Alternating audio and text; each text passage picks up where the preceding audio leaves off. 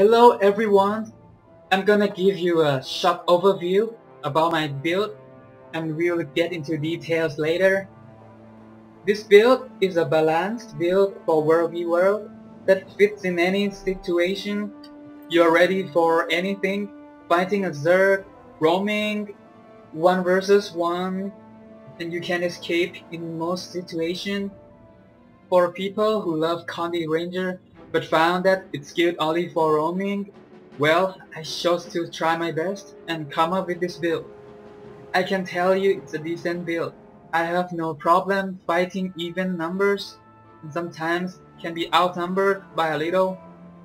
The build that's tough to kill for us would be warriors with lots of stability and immobilize clear since we focus on burning entangled foes. Here are my traits. As you can see, first line is skirmishing.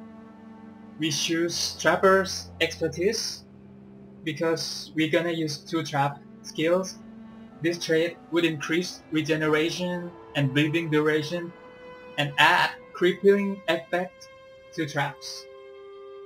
Next is Hidden Barbs because you have lots of bleeding skills the last one is Quick Draw for more frequent use on Bonfire and Ancestral Grace or Sublime Conversion.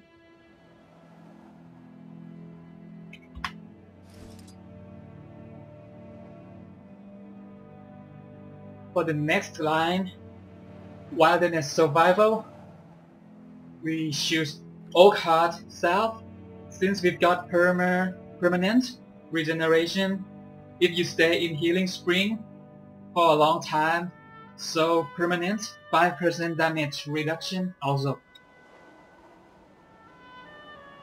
Shared Anguish. This skill, this trait, is very nice for preventing enemies combo and increase your sustainability in terms of stun breaker, which I'm sure better than this trait, ambidexterity. And lastly, empathic bond that helps a lot with Condi Clear. The last line is Druid.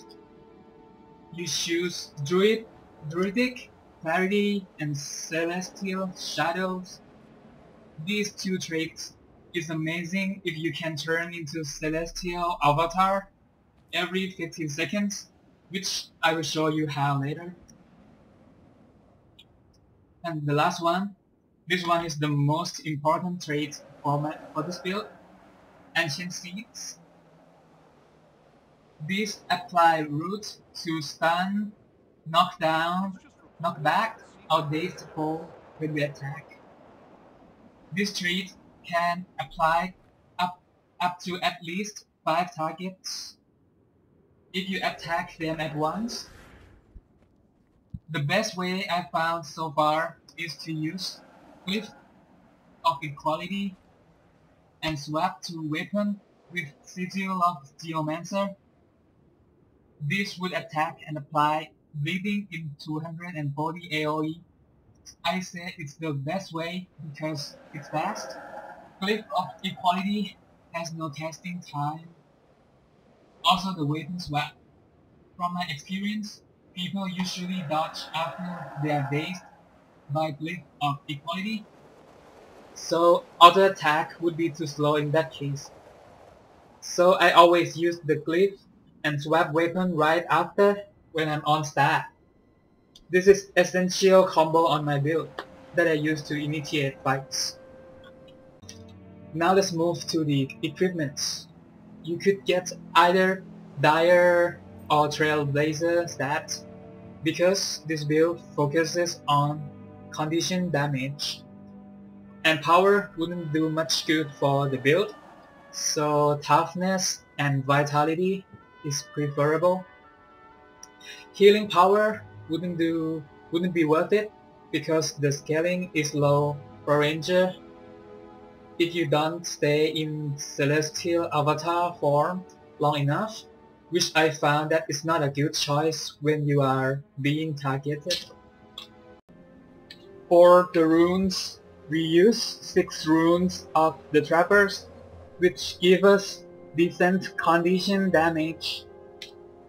Stealth and super speed after using trap skills allow you to engage, disengage and get loose from enemies attention better. For the sigils, Sigil of Ice on staff to slow fall down since you don't do much damage on staff. Sigil of Geomancer on either axe or torch.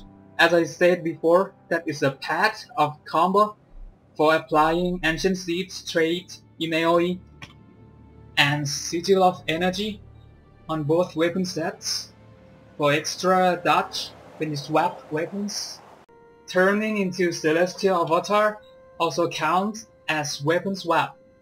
Most of the time when you break stuns by the Avatar skill, you also need to dodge whatever combo they are dropping on you. For weapons, it's clear that Axe and Torch is for condition damage and AoE condition damage. This one. Staff is for mobility, healing, and blocking projectiles, which might sound weird because staff damage comes from power stats, but we really need this for mobility to engage and disengage. One tip is you should try to stay in your healing spring, this one, and bonfire to get burning effect for projectile finisher. For the skills, we use healing spring for stealth and decent amount of healing if you stay in it. We'll need extra heal from Celestial Avatar sometimes and this build is good at getting away from combat. That's the best way to heal also. Glyph of Equality for Breaking Stuns and Ancient Seeds AoE.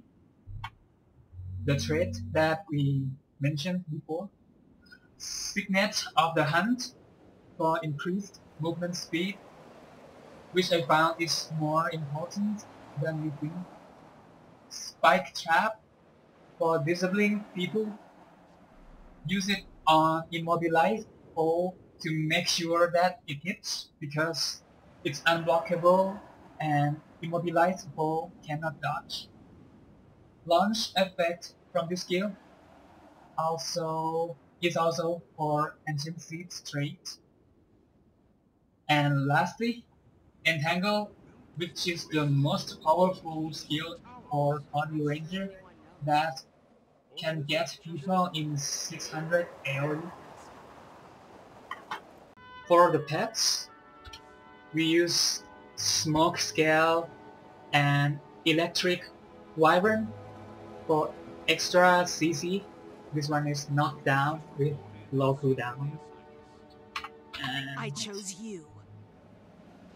This one, which we can activate, and this one that it does on its own. On its own.